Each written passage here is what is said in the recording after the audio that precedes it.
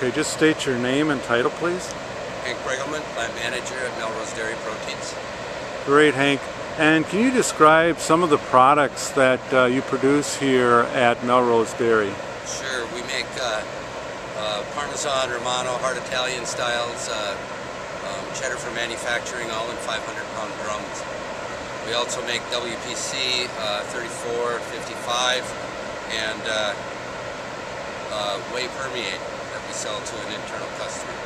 And the WPC is whey protein concentrate. Is that um, a derivative of the cheese process? It is. It's a byproduct of the whey, which is a byproduct of the cheese process. And what are those uh, products typically used for? The uh, WPC products Correct. are used for uh, uh, used into processed cheese, other food ingredients.